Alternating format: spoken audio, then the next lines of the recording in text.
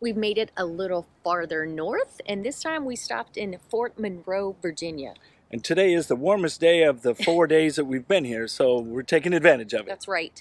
Now, this is a pretty cool place. We actually haven't stayed exactly here before in Virginia, so we thought we'd shake it up. This is actually an old Army base that closed down in 2011. But now it's a national monument. It's also loaded with history. It's the largest stone what fort built in the U.S. Yeah, and the construction on it, Stacy just told me this. So um, it was finished in 1834. Right. So we are going to go check out some of the old buildings. There are a couple people that have been through this base, including several presidents. Yeah, Abraham Lincoln, Jefferson, and Davis was actually imprisoned here. So we are going to go check out some of these old old buildings from the 1800s. More history. You know, I love that. of course, the best way to start is always the visitor center. What a perfect way to spend the day. Just dreaming.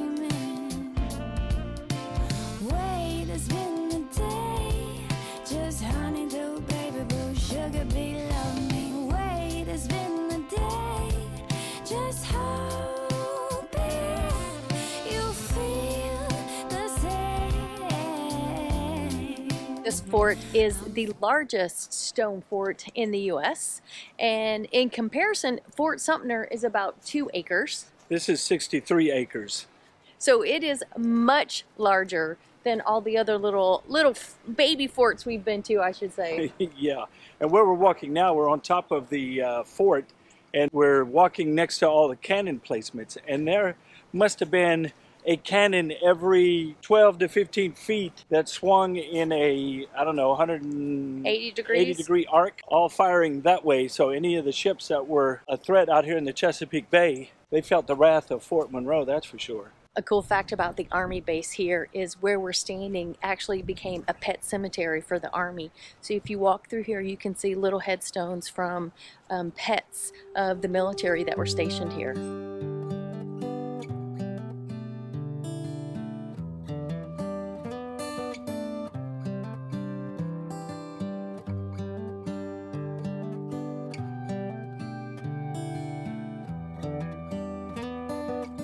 This place is definitely worth a stop. It's pretty cool. It is pretty cool, and, and it's interesting, the architecture. But the arches, you not only see the top of the arch, but what you don't see is the bottom of the arch. And that was key in holding up this fort. Which is sitting right on the coast on a high water table on sand. So the fact that the architects knew way back in the day how to construct this this building that is still here is pretty crazy. It is, and, and walking through here, um, you could tell that back back in the day there weren't many tall fellas because I think the highest point walking through the arches is five nine. Is the highest arch. Yeah, so if you were tall, you had to get through that um, before you could stand up. But this is a must see if you're in this area. And it feels great. All the stone, you know, even in the heat and humidity of Virginia in the summertime, it was nice and cool in here. Yeah, this is nice. I mean, it, it's pretty interesting architecture when you get in and start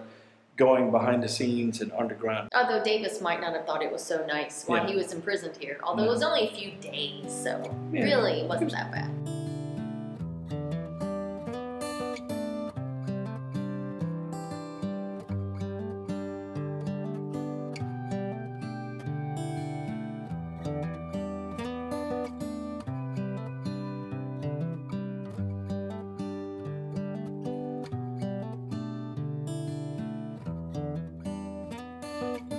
Interesting fact about Battery Irwin is that it was constructed in 1901 and the guns were placed in 1903 at a cost of 12,500 bucks.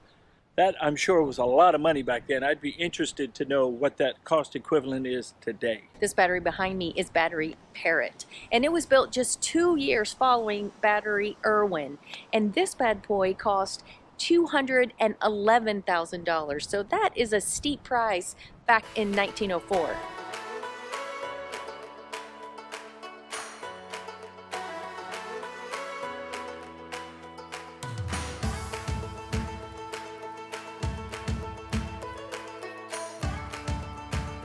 Behind me, you'll see quarters number one, and this house is very significant. Thankfully, they're going to restore this house, and eventually you'll be able to tour it. But this is the house President Lincoln stayed at when he was making plans to take back Norfolk from the Confederacy. One of the cool things about Fort Monroe are all these beautiful houses that were left behind from the Army. So if you're looking for somewhere to live in Hampton Roads, there's 170 houses here on this old Army base that they are renting out. I don't know if any are for sale, but I know they rent them out, and some of them are beautiful.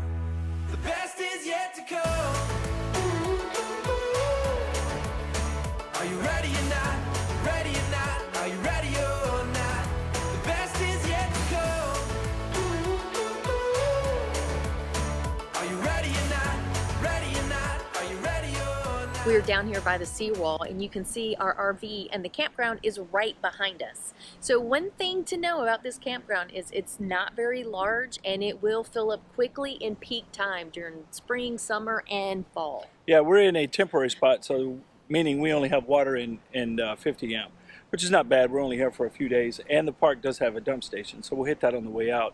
But you could tell from our rig to the seawall, we've got a pretty good view. And there's nothing like seeing the sunrise coming up right outside your window. It was phenomenal this morning.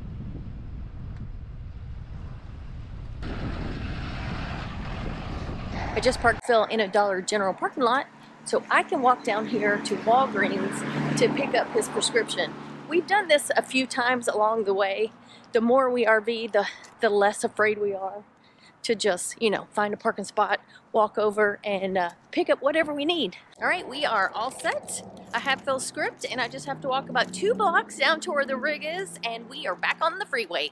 After our quick jaunt into Walgreens, we figured, hey, why not make another detour? So, We found a renovated or under renovation Burger King. They have a parking lot right next to the Chick fil A, so we pulled in there real fast.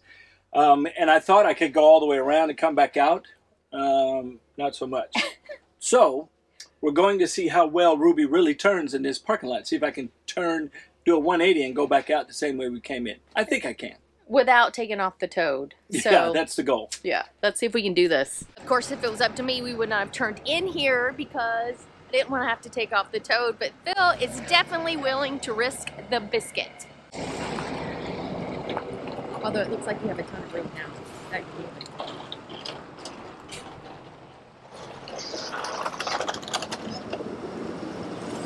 Oh no, you're gonna hit the curb! Okay, you just missed it by about six inches. He missed that curb by like six inches. I just knew that front tire was gonna go over it. Whoop, whoop. Ruby is one sweet machine. All right, Chick fil A check, Walgreens check.